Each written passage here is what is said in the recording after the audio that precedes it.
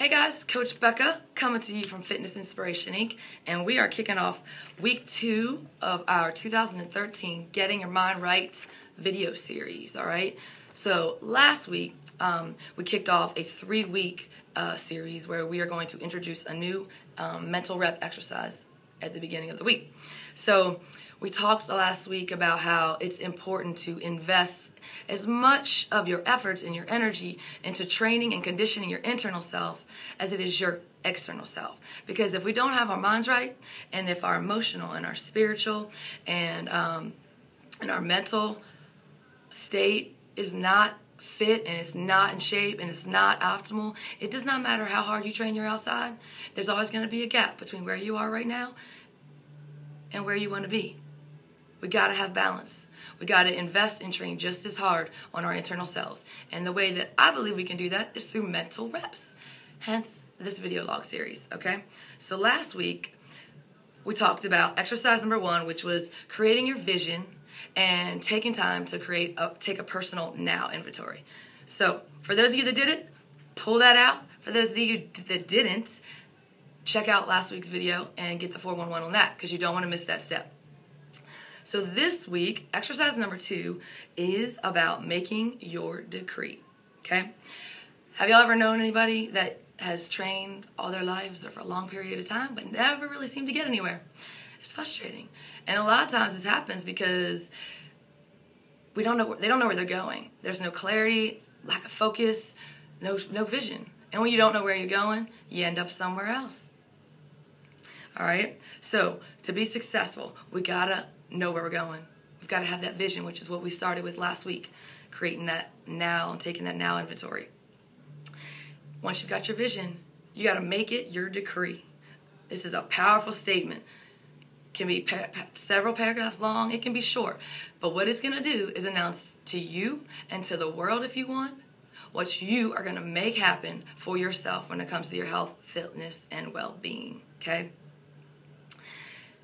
Your decree is a source of inspiration, major power source, and it's going to be the foundation of your commitment and your accountability. A successful decree is going to get you fired up. Every time you think about it, you're going to experience a positive emotional charge. You're going to be driven off that couch. Your soul's going to be stirred. You are going to get up and get after it each time you think about it and every time you see it. That sounds pretty awesome. So it's not a simple goal setting exercise, although goal setting is very important. Your decree is something that you are going to marinate on every single morning, every day when you get up.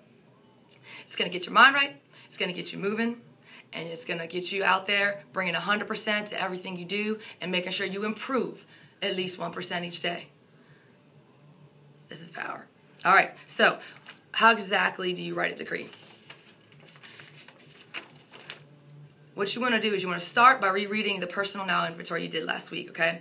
Um, and then you're going to fast forward six months, okay? You've written your vision, you're fast forwarding six months, and you're envisioning how you will, how you will look, function, and feel. Now that you've made that vision and all those things your reality. I want you to see the improved you, the best me you, and think about things like how is your energy? What do you feel like? You're creating a second part to this vision. You're making a statement about how your health, fitness, wellness, and body image will be, will be in six months. Game changer, people. Powerful. All right. So if you need a couple of journaling, uh, journaling tips, think about this. Six months from now, how is your energy? What do your nutritional habits look like? Your stress management happens, um, habits. How many days a week are you exercising? What changes have you made in your approach to your fitness? All right. Journal as if this stuff has already occurred. Imagining six months from now when you're looking back and reflecting on your journey. And to get you guys started on this, start with this sentence and then keep writing on. I am so happy and thankful now that, and fill in the blank, thinking about the fact that it's six months from this moment and the improvements that you desire have occurred. You did it, and your vision is now your world and your reality. What does success look like? How does it feel? Crucial step, guys, so please don't skip it, all right? Remember, it's too easy to just say to yourself that you're really going to do things differently. I'm really going to stick to this plan. And then, you know, you lose your mojo and your fire burns out sometimes after a few days, sometimes a couple of weeks. But just as it has the times before, like so many other folks who don't have decrees. Quitters don't have decrees. High character people and with high performance tendencies know their vision and they honor their commitments. You are a high performer. Make this decree happen and watch your vision become your reality. All right, so that is exercise number two of three. Oh, wait, there's one more thing. Okay, positive pressure. Ever heard of accountability? That's what positive pressure is, okay? And your decree is going to create that positive pressure for yourself. That's why we write it. That's why there's a difference between those who just tell themselves they're going to do it and those who actually write the decree. There is power in writing it down.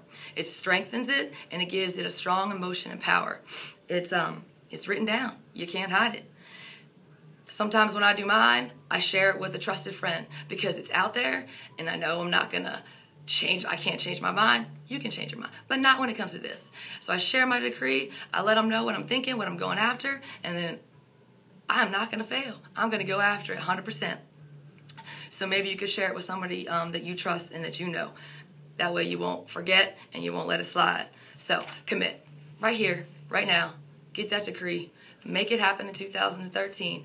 Until I see you next week, believe it, bring it, achieve it. Check us out on Facebook at facebook.com. Believe it, bring it, achieve it. Make it a best me day.